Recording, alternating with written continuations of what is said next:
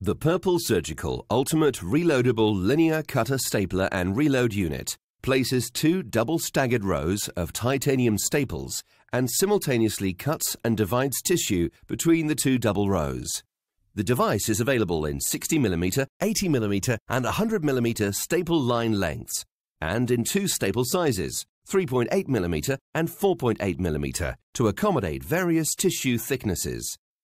Each device can be reloaded up to seven times, for a maximum total of eight firings on one patient.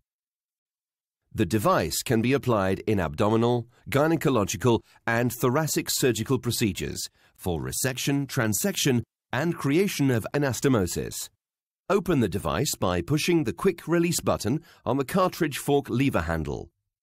Lift the anvil fork handle to separate the central hinge. Remove the red shipping wedge from the cartridge by lifting and pulling it out using the finger tabs. Position the tissue to be stapled between the cartridge fork and anvil fork.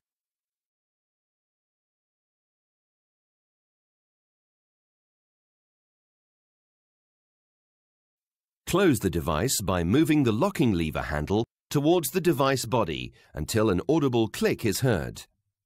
Before firing, allow 5 to 10 seconds for tissue compression. With the device securely closed, rotate the firing knob to either side of the device. Place the heel of the thumb behind the firing knob and two fingers on the device shoulders.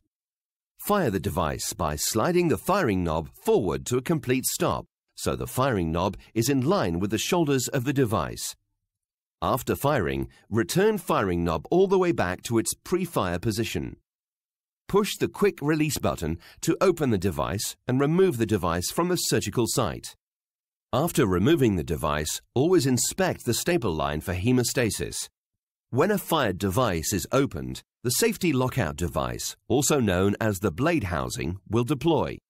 The deployed blade housing safety lockout prevents reclamping of the device with the cartridge that has been fired.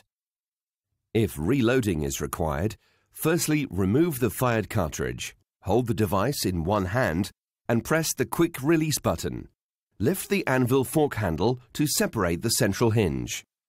Using your thumb and index finger, grasp the finger tabs on the cartridge from below the cartridge housing.